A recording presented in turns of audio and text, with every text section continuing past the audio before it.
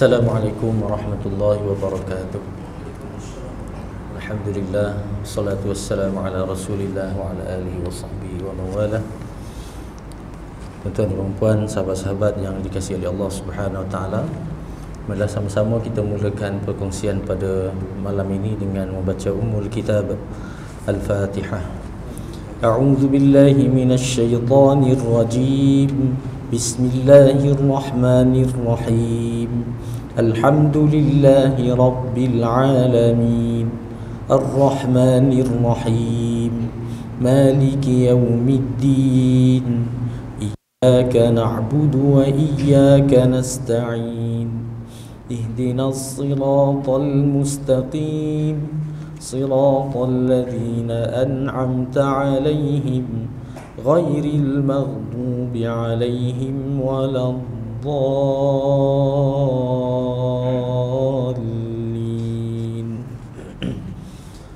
الحمد لله إن الحمد لله Sesungguhnya segala pujian itu hanyalah layak untuk Allah Nahmaduhu wa nasta'inuh Kita puji Allah dan kita mohon pertolongan hanya kepada Allah Wa nastahdihi wa nastaghfiruh kita mohon hidayah petunjuk Allah dan kita mohon ampun sentiasa kepada Allah.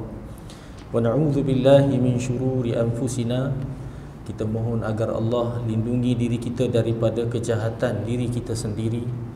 Wa min sayyiati a'malina dan juga mohon Allah jauhkan kita daripada keburukan keburukan amalan-amalan kita. Innahu may yahdihillahu fala mudhillalah. Sesungguhnya sesiapa yang diberikan hidayah petunjuk Allah tidak ada sesiapa yang mampu untuk menyesatkannya. Wa may yudlilhu jika sesiapa yang disesatkan oleh Allah fala hadiyalah. Tidak ada siapa yang boleh tunjuk dia lagi melainkan dia kembali kepada jalan Allah.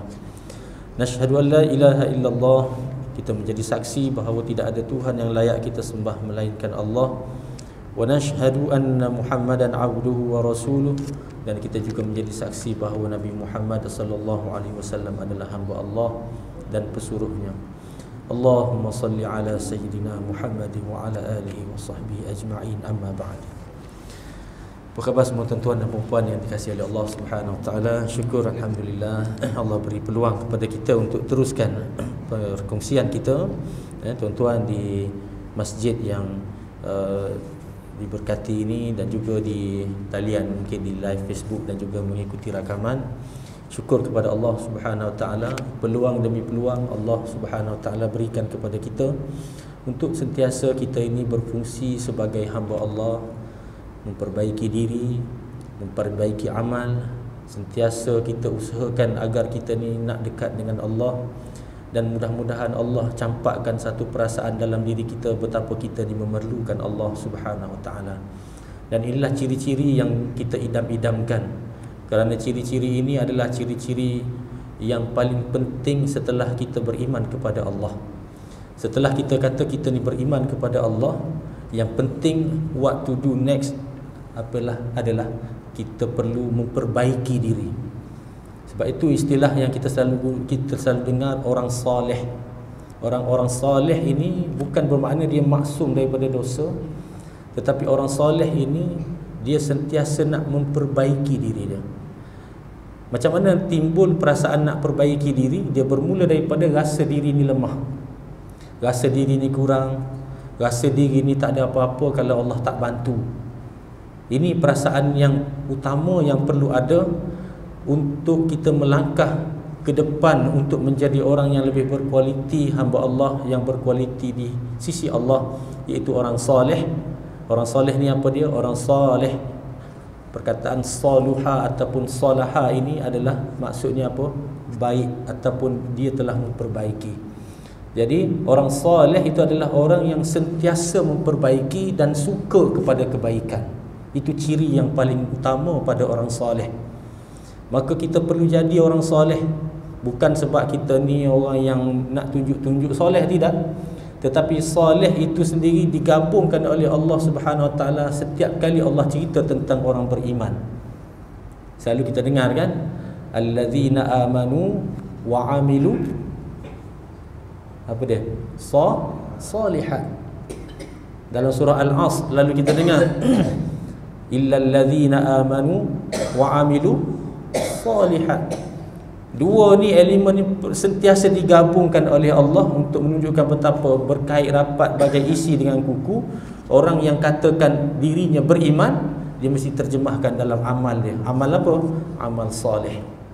Maka di sinilah kita mohon hidayah petunjuk Allah atas usaha kita datang untuk melazimi majlis-majlis ilmu kita melazimi eh, sesuatu yang sentiasa mendekatkan hati kita dengan Allah melunakkan keegoan-keegoan saya dan tuan-tuan sama-sama kita nak proses diri kita ini supaya Allah terima amal-amal kita.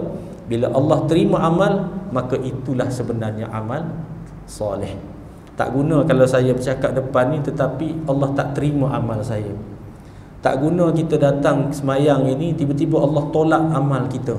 Kerana apa? Amal yang ditolak itu Sudah tentu dinamakan amal yang tidak soleh. Amal yang soleh ini adalah amal Yang dilakukan dengan hati yang mengharapkan. Selain Tidak lain hanyalah Allah subhanahu wa ta'ala Mengharap kepada Redha Allah. Ya Allah, kau redha tak? Aku ni datang jauh-jauh Penat-penat balik kerja duduk depan ini dalam majlis ilmu. Ya Allah kau reda tak aku ni balik kerja penat-penat duduk di depan ni menyampaikan ilmu. Tak lain tak bukan kita nak balik depan Allah nanti kita nak bawa amal-amal ni mudah-mudahan Allah terima. Amin ya rabbal alamin. Baik tuan-tuan dan puan yang dikasihi oleh Allah Subhanahu taala kita sambung lagi perkongsian kita berkenaan dengan uh, tafsir yang kita sama-sama telusuri lah kita kata. Kita baca dan telusuri bersama itu daripada suratul baqarah. Ya, minggu lepas kita dah bacakan ayat beserta terjemahan beserta juga dengan sebahagian daripada tafsiran yang dibawakan oleh oleh Ustaz Ahmad Sun Haji bin Muhammad rahimahullah. Wa qala al-muallif rahimahullah wa nafa'ana wa iyyakum bi ulumihi fid amin ya rabbal alamin. Kita sambung pada ayat yang eh, pada muka surat 47 47 uh, perenggan 1 2 3 perenggan yang ketiga ya, ya perkataan ayat-ayat tadi. Baik, ayat yang kita sedang bincangkan ini adalah ayat daripada ayat yang ke-8 hingga ayat yang ke-20 surah Al-Baqarah yang menceritakan satu jenis kekufuran yang tersembunyi kekufuran yang mana menjadi konflik dalam diri seseorang manusia sehingga dia tak sedar sama ada sedar ataupun tidak dia telah jatuh kufur kepada Allah Subhanahu wa taala. Ini penyakit jiwa yang sangat dahsyat. Kalau orang ni dia sakit kemudian dia sedar dia ni sakit itu bagus lagi. Yang menjadi malangnya kalau dia sakit dan dia tak sedar apa penyakit dia. Oh, yang ni bahaya. Lebih bahaya lagi dia sakit tapi dia kata dia sihat ni lagi bahaya. Kan? Ha, orang naik kereta eh, dia dia dia rasa dia sedap naik kereta ni. Tapi orang kat luar dah tengok tayar dah. Bergelong dah. Orang kata tayar tu dah tercabut nak eh dia kata okey ni tak ada apa lah. ha, yang tu bahaya tu. Eh, dia tak ikut dah signal dah menyala dah lampu enjin. Hmm. dia teruskan juga perjalanan. Kan? Ha, ini bahaya. Orang yang tidak nampak tanda-tanda eh, bahaya yang ada di depan mata dia baik maka kita bersambung uh, ayat uh, bacaan kita ni uh, qala muallif ayat-ayat tadi merupakan kiasan ibarat yang sangat halus dengan susunan kata yang sangat indah dan dengan gaya bahasa yang sungguh menarik. Penulis ini merujuk pada ayat-ayat yang menggambarkan bagaimanakah hati orang-orang yang munafik kepada Allah. Hati orang-orang yang mempamerkan dia ikut Nabi kalau dalam konteks Rasulullah dulu ataupun dia ikut Islam dia buat apa yang orang Islam buat tetapi dia tidak ada hati langsung kepada Islam dia tidak ada hati langsung kepada Rasulullah sallallahu alaihi wasallam. Tidak ada hati langsung kepada sunnah. Habis tu selama ni yang dia duk buat ni kenapa? Semata-mata menjaga perasaan orang menjaga apa orang kata. Dia nak jaga daripada orang kata dia ni tak sama dengan orang lain. masya-Allah. Dan ini berlaku di zaman Rasulullah sallallahu alaihi wasallam. Puak-puak munafikin yang mana kita dah sebut sedikit kronologi pada minggu lepas ketika mana sebelum Nabi sallallahu alaihi wasallam sampai di kota Madinah dan dilantik menjadi ketua Abdullah bin Ubay bin Salul ini adalah ketua kepada kabilah ataupun ketua kepada kaum besar yang ura-uranya nak dilantik menjadi ketua pada Madinah tersebut. Kaum Aus dan Khazraj. Tetapi bila Nabi datang ah, kacau daun lah kita kata kan maknanya posisi dia terjejas. Tapi nak lawan tak ada kekuatan lah. Orang dah ikut Rasulullah sallallahu alaihi wasallam. Nak tak nak ikut tetapi hati punyalah menyampah kepada apa yang dibawakan oleh Rasulullah sallallahu alaihi wasallam. Maka inilah ciri-ciri jadi Allah gambarkan dalam ayat sebelum ini bagaimana ciri-ciri mereka ini ketika mana mereka di, di, dinasihatkan jangan ganggu jangan buat kacau jangan buat pecah belah jangan rosakkan apa yang telah baik eh, persaudaraan sesama Islam. Jangan rosakkan fikiran umat Islam kacau bilaukan akidah mereka Ah, barisan-barisan mereka. Jangan kacau.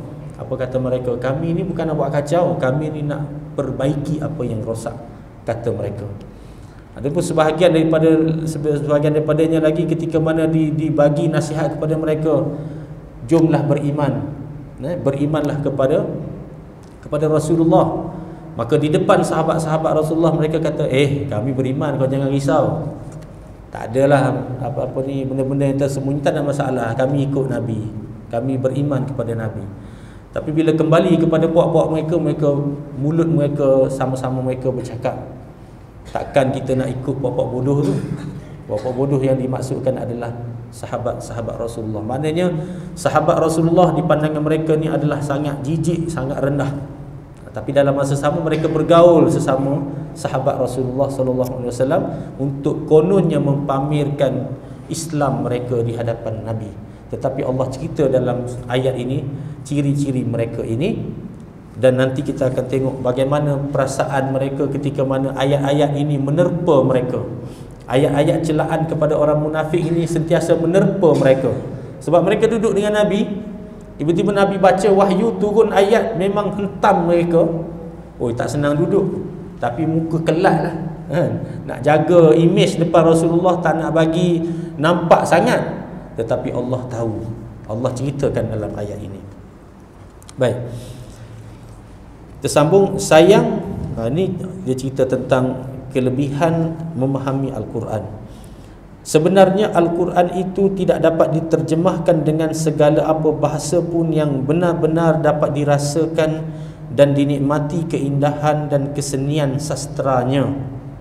Keindahan seni sastra Al-Quran dapat dirasakan dan dapat dinikmati dengan sepuas-puasnya hanya dengan jalan bahasa Al-Quran itu sendiri. Ha, ini pesanan daripada almarhum uh, Tuan Haji uh, Son Haji disebutkan Tuan Haji Ahmad Son Haji sebutkan maknanya satu sapaan ataupun satu satu nasihat daripada penulis ini belajarlah dekat-dekatlah dengan bahasa al-Quran.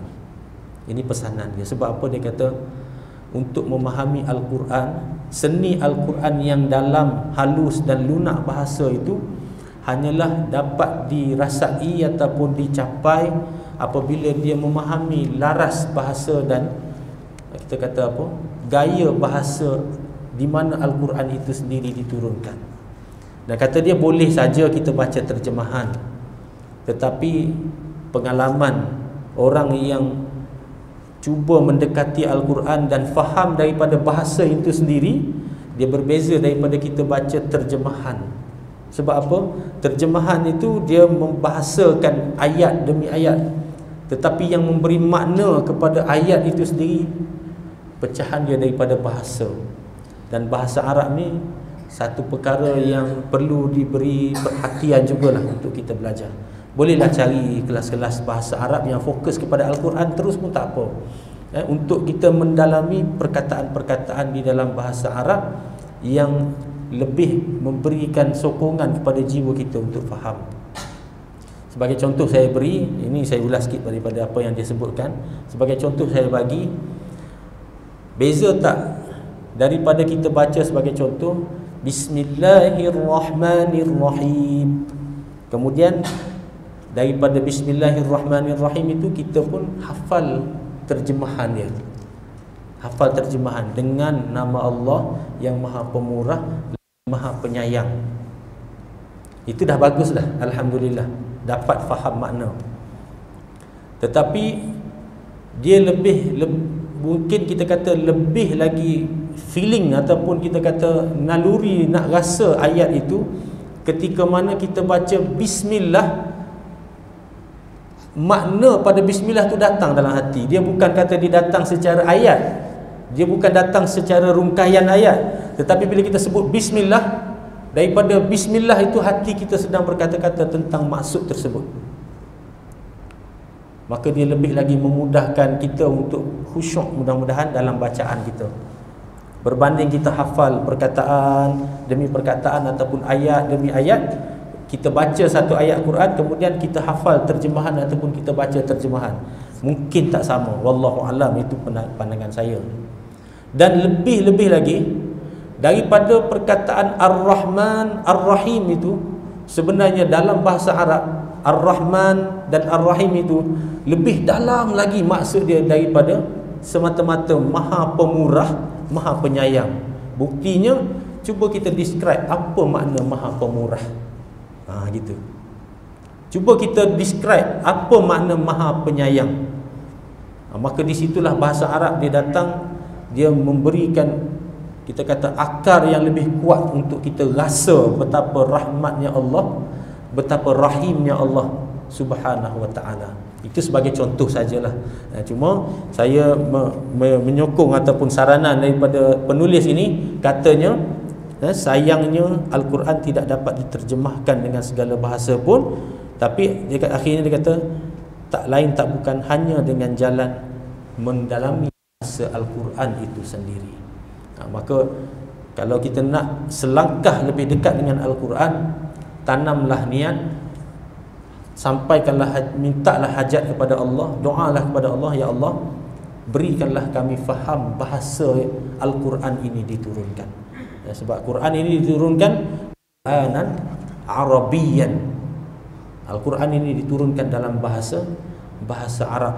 Dalam ayat yang lain Arabian mubina bahasa Arab yang fasih bahasa Arab yang yang original. Maka dari situ datangnya tuntutan para ulama sebahagiannya dan sebahagian besar menyatakan tuntutan untuk mempelajari bahasa Arab ini adalah fardu fardu ain. Kena letak. Maknanya memanglah kita kata oh susah nak takkan nak hafal semua. Tak apa yang penting ada niat itu nombor satu. Wallahu alam dan kata dia tetapi tidaklah bermakna tidak dapat langsung dirasakan keindahan di dalam bahasa-bahasa yang difahami. Kalaupun ada sangatlah kecil berbanding dengan bahasa asalnya. Ini ini huraian daripada Ustaz uh, almarhum uh, Ahmad Sun Haji. Baik Kata dia Tuhan menyatakan ayat 8 9 bahawasanya ada di antara orang-orang yang mengaku beriman dengan Allah dan beriman dengan hari kemudian tetapi sebenarnya mereka itu tidak beriman mereka itu mencuba-cuba hendak menipu Allah iaitu nabinya sallallahu alaihi wasallam dan orang-orang mukmin. Maknanya selama mereka hidup dengan nabi ni mereka sentiasa berpura-pura. Sebab tu saya kata bukan senang nak hidup berpura-pura sampai orang tak boleh nak detect ni. Maknanya dia orang ni hebat sungguh.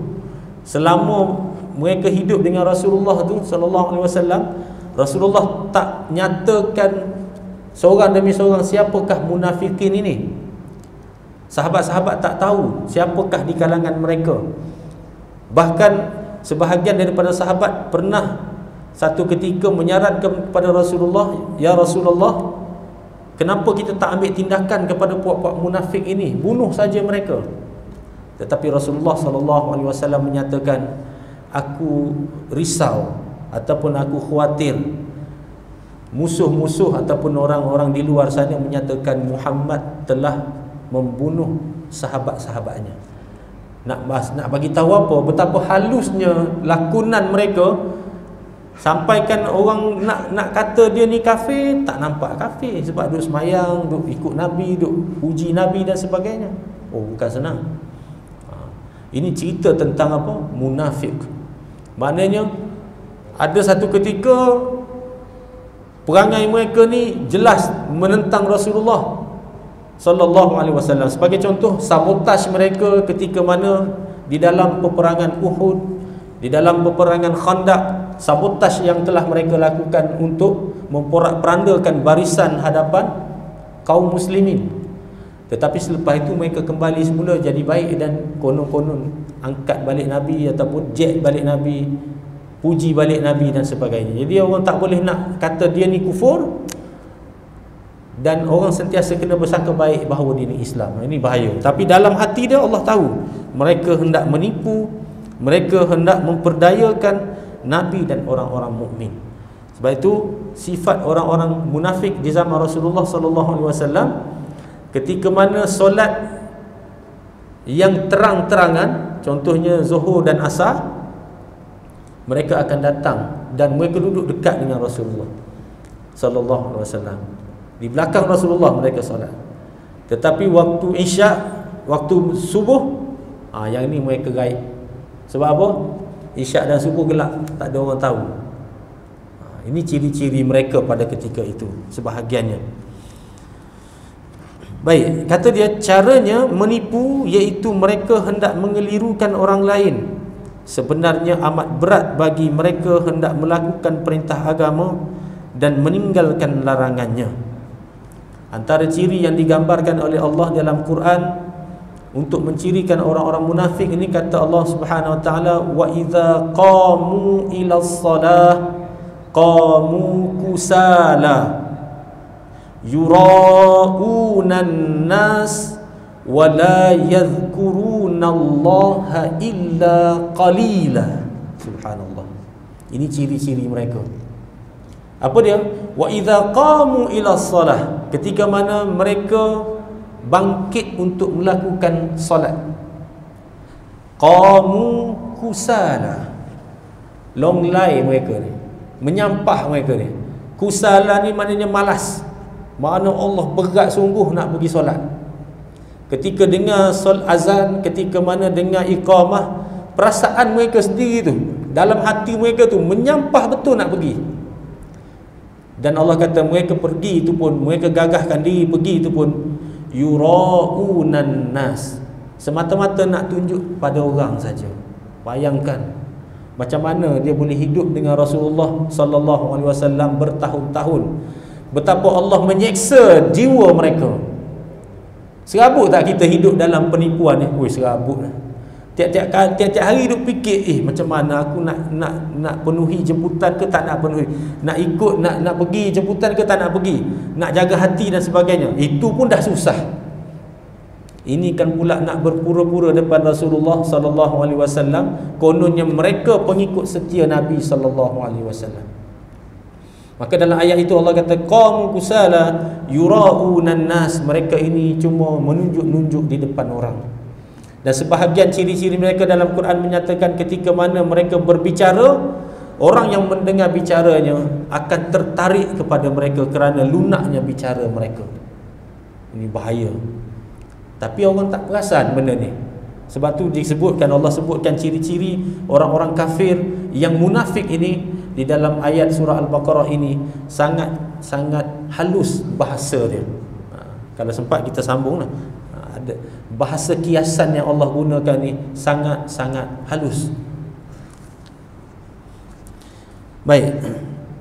Tetapi oleh kerana mereka terpaksa bergaul dengan orang-orang beriman, kalau kebetulan nampak orang dibuatnya lah kerja-kerja seperti orang mukmin tetapi bila telah berada seorang diri Kembalilah semula mengikut kata hatinya Masakan Allah yang maha mengetahui Dapat ditipu.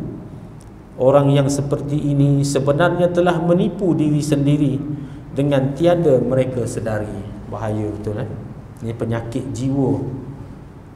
Yang mana mereka ni mula-mula nak tipu orang tetapi hari hari demi hari duk asyik nak nak sebut benda yang tak betul. Akhirnya yang tak betul tu dia jadi nilai dalam diri dia.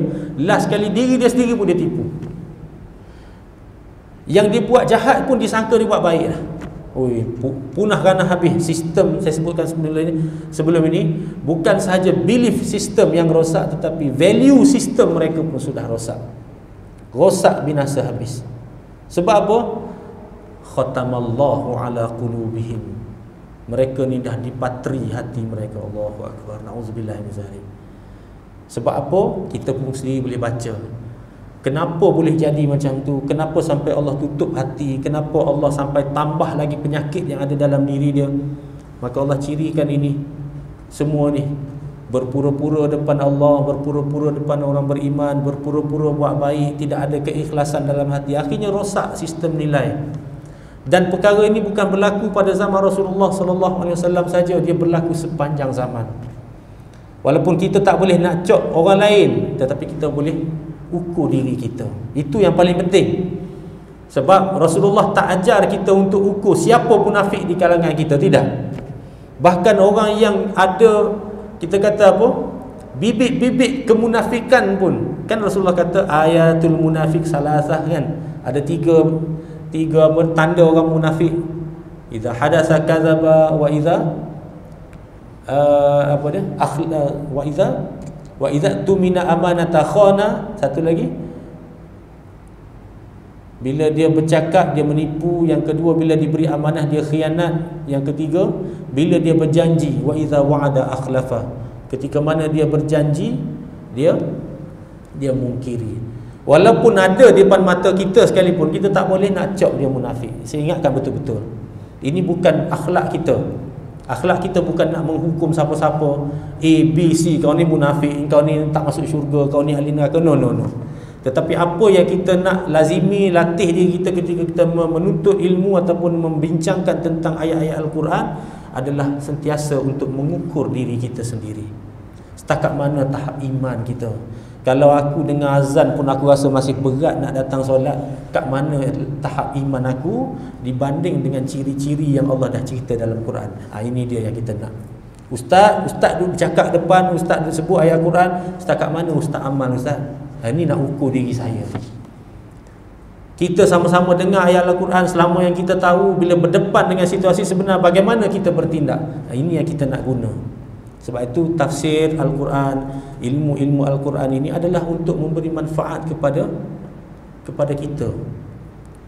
Sebab itu berlakunya tadabur ini Tafsir itu untuk menghuraikan ayat Tetapi tadabur itu adalah untuk mengenali diri sendiri dengan makna Al-Quran. Kau ukurlah diri kau sendiri. Gitulah lebih kurang mudah. Ini yang kita takut maka kata dia masakan Allah subhanahu wa ta'ala boleh dapat ditipu oleh mereka. Orang yang seperti ini orang yang seperti ini sebenarnya telah menipu diri sendiri dengan tiada mereka sedari. Allahu Akbar. Baik, seterusnya ayat ke-10 disebutkan bahawa pekerti orang munafik itu sesungguhnya sangat berbahaya. Tuhan telah mengkiaskan pekerti buruk orang munafik itu merupakan suatu penyakit jiwa yang akan mematikan hati nuraninya. Allah. Ya? sampai maknanya sampai ke ke ke akar rosaknya dia ni. Dia bukan sekadar rosak dari segi mental tetapi rosak ke akar hati tu. Dan kan ulama kata hati ni ada lapis-lapis kan? Kadang-kadang dia dia dia uh, loop ada qalb ada fuad beberapa lapisan itu kadang-kadang yang rosaknya di peringkat luaran dalaman masih core dia masih kuat. Mungkin dia ada mas, dia ada lagi harapan untuk diperbaiki. Tetapi bila berulang-ulang dia masuk masuk masuk masuk dia rosak ke akar tu cakaplah apa sekali. Aku dah tahu dah benda betul tapi sorry lah kalau aku nak ikut. Ha, gitulah jadi dan kita kata apa? Ikon kepada orang yang rosak sehingga ke akar hati ni siapa dia Iblis laknatullah. Iblis laknatullah. Rosak dia ni rosak ke akal. Dia bukan tak kenal Allah. Bukan saya masukkan dalam istilah ma'rifatullah tu bukan ya. Tapi maknanya kalau kau sebut kat setan Allah tu siapa? Agak-agaknya sama tak dengan kita tanya pada orang yang belum Muslim Yang tak kenal Tuhan? Tak sama. Bahkan dia boleh describe tentang Allah Lebih daripada apa yang kita tahu. Mungkin. Mungkin sebab apa? Dia ni adalah di antara yang dekat dengan Allah Yang ada ilmu tentang Allah. Tetapi kerana hati dia sudah rosak Sistem nilai dia dah rosak Apa yang dipegang? Sebab Adam aku disalahkan. Itu saja. Apa yang berlaku ke depan Apa nak jadi-jadi Yang penting kalau aku masuk neraka Yang lain tak boleh keluar. Aku mesti masuk sekali. Allahu Akbar Sehingga kan kalau kita kata uniknya iblis ni Dia minta umur yang panjang. Oh menarik betul kan? Orang lain minta umur panjang untuk apa? Ya Allah sempatlah nak taubat. Nak fikir dulu apa yang aku buat betul ke salah. Tak tak tak. Umur yang panjang ni nak guna sepenuhnya Fully utilize untuk Rosakkan semua manusia. Bahaya tak bahayanya Kesesatan ataupun kerosakan pada hati Sehingga Allah tutup mati hati dia Na'udzubillah min zalik. Allah kata fa innahu la ta'mal absar. Sesungguhnya yang buta itu bukan pandangan mata, bukan dia tak nampak. Walakin ta'mal qulubul lati fis sudur. Akan tetapi yang butanya adalah buta hati yang ada dalam dada dia.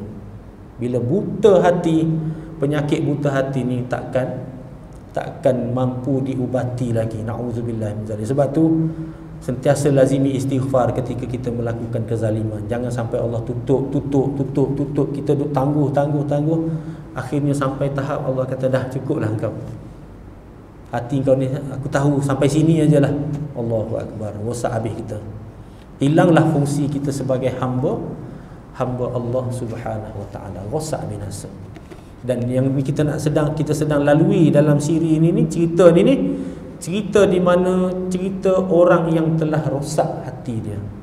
Abdullah bin Ubay yang popular lah kita dalam, dalam sejarah mati dia ni sehingga Allah kata Nabi SAW dalam siri dakwah Nabi Nabi ni nak raikan lagi pengikut-pengikut Abdullah bin Ubay ni supaya kembali kepada Islam. Ini dakwah Rasulullah hebat anak kepada Abdullah bin Ubay ni muslim mukmin sahabat Rasulullah sallallahu alaihi wasallam. Dan pada pada hari kematian Abdullah bin Ubay anak dia datang kepada Rasulullah sallallahu alaihi wasallam mohon ya Rasulullah kalau boleh ada ruang-ruang syafaatmu tolonglah berikan kepada ayah aku. Kesianlah dia. Sampai tahap tu nabi ni bagi jubah bagi jubah. Dan sampai satu peringkat Nabi nak datang menghadiri uh, perkuburan Abdullah bin Ubay tapi datang arahan daripada Allah wala takum fihi abada. Ayat yang lain wala taqum fala taqum ala qabrih. Jangan kamu berdiri untuk bagi bagi penghormatan di atas kubur dia. Allah laknat sungguh. Dalam ayat lain banyaklah ayat-ayat yang cerita tentang ayat ni ni. Allah kata satu lagi antaranya ayatnya uh, astaghfir lahum aw la tastaghfir lahum lan yaghfirallahu lahum. Oi naudzubillah min zalik. Sama ada engkau datang minta ampun ke ataupun kamu tak datang minta ampun ke lan yaghfirallahu lahum. Allah tak akan ampun dah orang ni. Ish, berat ni hati yang macam ni ni kalau naudzubillah min zalik. Gitu sebab tu kita kena hati ni kena sentiasa bersih bersih. Jaga jaga. Rasa diri ni sedang kotor bersih bersihkan. Bila mati yang tu habis. Khatamallahu ala qulub qulubihim wa ala sam'ihim wa ala absarihim ghishawah habislah. Tutup habis mata telinga pendengaran. Dah tahu ni orang baik ni yang buruk tak tak nampak apa dah. Naudzubillah min zalik Allahu Akbar Baik, seterusnya ayat 10 ni menerangkan bahawa pekerti orang munafik ini sesungguhnya sangat berbahaya. Tuhan mengkiaskan pekerti buruk orang munafik itu merupakan satu oh, ni saya dah baca penyakit jiwa yang akan mematikan hati nurani mereka. Firman Allah Subhanahu wa taala fi qulubihim marad. Di dalam hati mereka ada penyakit. Ya, dia bukan something wrong lagi memang totally. Totally apa namanya? Rosak habis ha? sebab apa? Fazadahumullahu marada. Hati yang sakit tadi tu Allah tambah lagi. Ini Allah Subhanahu wa taala. Ketika mana rahmat Allah turun kepada hamba dia Allah ni asyakur Allah akan limpahkan lagi rahmat.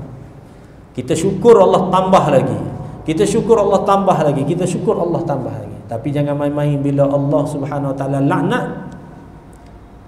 Dan kita tak kembali kepada Allah cepat-cepat masa itulah Allah tambah kelaknatan itu ke atas ke atas diri kita. Insyaallah insya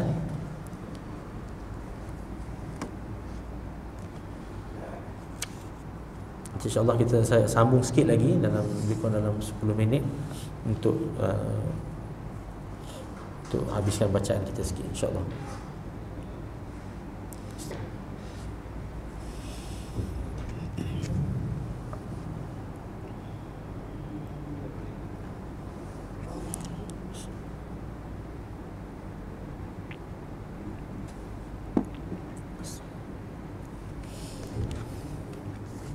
اللهم آتنا صدقا وسجنا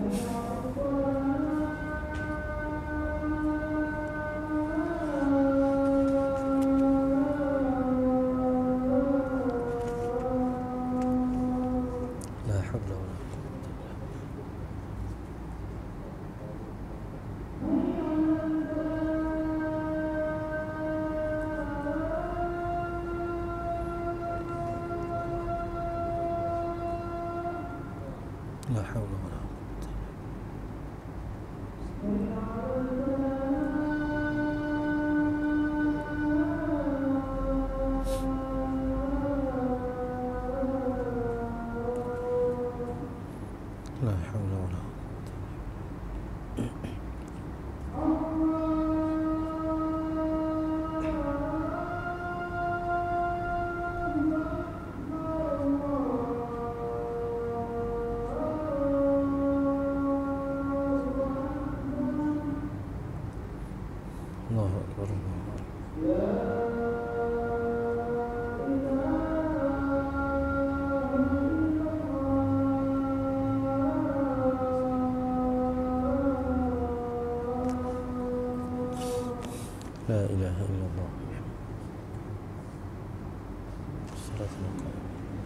سيدنا محمد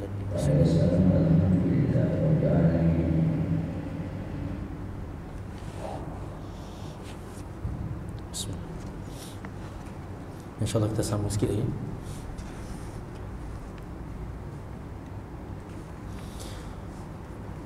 Baik, Allah ceritakan tentang sifat hati mereka ini sudah sakit Bahkan sakit itu bertimpa-timpa Untuk bayangkan kalau sakit kencing manis bacaan gula dah tinggi. Naudzubillah min zalim komplikasi demi komplikasi demi komplikasi demi komplikasi yang berlaku pada diri apa ke akhirnya gambaran bagi penyakit itu? Bila bila apa nama ni bila jantung tersumbat dia bukan satu saluran saja tetapi semua tempat dah dah rosak nak buat stenting pun dah tak boleh dah. Kan? Kalau buat pecah dah dia kata. Uh, doktor kata saluran dah keras. Allahu akbar. Ini berlaku pada hati. Sebab tu Nabi sebutkan ada hadis satu kejahatan yang dilakukan oleh anak Adam Allah akan letakkan satu titik hitam pada hati dia. Dan titik hitam ni kalau orang tak perasan dia tak rasa. Tapi lama kelamaan lama kelamaan dia akan dia akan merebak, merebak, merebak dan merebak sehinggalah akhirnya hati itu keras dan dan mati. Sebab itu sangat beruntung orang yang sentiasa memproses hati dia. Kan ayat yang saya baca tadi saya ingat uh, waktu solat uh, maghrib tadi surah asy-syams qad aflaha man zakkaha ya Allah beruntungnya orang-orang yang sentiasa proses jiwa dia untuk bersih sebab dia tahu hati dia ni kalau bersih hari ni dia tak boleh biar macam tu je. Dia kena sentiasa maintain. Sebab esok mungkin ada kekotoran yang masuk, dia kena bersihkan lagi dan bersihnya tu dengan banyak cara yang ulama sebutkan. Istighfarnya, solatnya, taubatnya dan sebagainya. Wa qad khaba man dassaha dan betapa celakanya orang yang ruginya orang yang dassaha menyia-nyiakannya. Eh, me, me, apa nama ni uh, mengotorkannya Allahu akbar. Dan itu semua terpulang bukan terpulang maknanya bergantung pada diri dia sendiri. Bagaimana dia nak Allah bersihkan hati dia. Walaupun memang kita kata kita tak mampu nak mengawal hati tetapi kita ada hati untuk bermunajat dan bermohon kepada Allah agar hati kita ini sentiasa dijaga. Kalau saya boleh kongsikan satu doa daripada Rasulullah sallallahu alaihi wasallam mungkin boleh tuan-tuan ikut. Allahumma ati nafsi taqwaha wa zakkiha wa anta khairu man zakkaha. Anta waliyuha wa maulaha Allahumma ati nafsi taqwaha. Ya Allah datangkanlah kepada jiwaku ni takwanya wa zakkiha dan bersihkannya ya Allah anta khairu man zakkaha. Kaulah sebaik-baik tukang yang boleh bersihkan hati. Tak ada siapa yang mampu buat. Bahkan aku sendiri tak mampu ya Allah. Hati aku ni berbolak balik aku sendiri nak bersihkan tak mampu. Engkaulah sahaja yang mampu jadikan hati aku bersih. Anta waliyuha wa maulaha. Dan engkaulah walinya yakni penjaganya wa maulaha. Dan engkaulah tuannya dalam surah doa lain-lain Allah sebut apa? Eh, Nabi sebut apa? Ya muqallibal qulub sabit qalbi ala dinik. Itu juga adalah doa yang kita sentiasa lazimi supaya Allah jaga hati kita. Betapa besarnya kepentingan hati ni. Baik. Penyakit jiwa mereka itu adalah Yang pertama kebebalan mereka. Bebal ni maknanya dungu mereka ni pada sangkaannya kerja mengeliru-liru mengeliru-ngelirukan orang itu lambat laun tidak diketahui orang. Maknanya selama mereka duk tipu Rasulullah, tipu orang beriman, berpura-pura jadi baik ni, sangkaan mereka mereka dapat jaga, maintain penipuan mereka tu sampai kesudah. Dan mereka tak tahu kesudahannya sampai bila. Itu yang pertama. Maknanya penyakit ni sampai tahap tak boleh nak nak rasional pada pada tindakan. Ah tak apa kita tipu je. Yang penting tipu je. Yang penting tipu, tak tahu sampai bila. Dan hidup di dalam penipuan. Kemudian yang kedua penyakit jiwa mereka adalah kerapuhan iman. Bila mereka menipu Rasulullah sallallahu alaihi wasallam sudah tentu iman mereka sangat rapuh. Iaitu mereka tidak meyakini dengan benar bahawa Rasulullah sallallahu alaihi wasallam Muhammad sallallahu alaihi wasallam itu adalah Rasulullah yang disampaikan wahyu kepadanya daripada Allah yang Maha mengetahui. Kerana kepercayaannya sentiasa diliputi oleh perasaan syak wasangka dan keraguan sehingga mereka ada mereka tidak ada tetap pendirian. Maknanya sentiasa berbolak-balik tak firm, tak nak jadi kafir sepenuhnya pun duduk dalam komuniti orang beriman nak jadi orang beriman pun tak larat nak beriman. Akhirnya duk main muzabzabin. Nabi Allah kata mereka ni atas pagar. Baina zalik. Antara nak beriman dengan kufur beriman dengan kufur. Sekejap iman jatuh kufur. Sekejap baru nak beriman jatuh kufur. Baik. Yang ketiga sikapnya sebagai penentang kebenaran yang dibawa oleh Nabi dan memusuhi perkara-perkara yang merupakan peraturan-peraturan agama sedang kebenaran berterusan diberikan begitu pula wahyu berterusan diturunkan dan ia sentiasa menentang maka Allah maka akan bertambah parahlah penyakit jiwa dia. Ha, begitulah yang berlaku kepada kepada tokoh-tokoh yang terdahulu yang disebut dalam Al-Quran Fir'aun Namrud dan sebagainya. Mukjizat Rasul depan mata tetapi ditolak ditolak ditolak. Akhirnya mati dalam dalam penipuan kepada diri sendiri. Maka penyakit-penyakit jiwa yang seperti inilah yang merupakan kompleks yang sedang menyiksa jiwanya di samping seksa akhirat yang akan menanti di kemudian hari. Maknanya tak ada life. Orang munafik ni tak ada life. Jiwa dia tak real. Dia sentiasa dalam keadaan bersangka-sangka, dalam keadaan menipu, berpura-pura dan sebagainya. Akhirnya hidup dia serabut sebenarnya. Dan inilah salah satu daripada bentuk penyiksaan kepada jiwa yang tidak ada iman dalam hati dia. Meragui, tak yakin, tak percaya, menyampah, sakit hati, benci, dendam, keliru, duk bersarang dalam hati dia. Kerana apa? Kerana satu benda aja. Dia tak pecahkan belenggu keimanan itu benar-benar dia nak beriman kepada Allah. Sebab itu kesimpulan pada malam ini Marilah sama-sama. Kita tanamkan dalam hati kita Dalam jiwa kita Untuk kita menerima iman dan Islam ini sepenuhnya. Yakinlah kepada Islam sepenuhnya Jangan ada sikit pun keraguan tentang apa yang Allah perintahkan. Jangan sikit pun ada keraguan tentang larangan-larangan yang Allah Subhanahu Wa Taala sebutkan di dalam Al-Quran dan hadis-hadis Rasulullah Sallallahu Alaihi Wasallam. Jangan ada walaupun sekelumit rasa apa? Rasa confused ataupun rasa tidak beri kepercayaan kepada Islam. Masa depan yang cerah hanyalah ada pada Islam. Eh, ya ke tak ya? Ha, ini bahaya. Nauzubillah min zalik. Jadi mudah-mudahan apa yang kita bincangkan pada malam ini Mohon-mohon Allah berikan hidayah kepada kita Ampunkan dosa-dosa kita yang lalu Yang sekarang dan yang akan datang. Dan Allah subhanahu wa ta'ala beri kesihan belas kepada kita Untuk diterima amal-amal kita Dan diampunkan semuanya insyaAllah. Amin ya Rabbal Alamin. Aku lukau lihada nastaghfirullahalazim li walakum Assalamualaikum warahmatullahi wabarakatuh InsyaAllah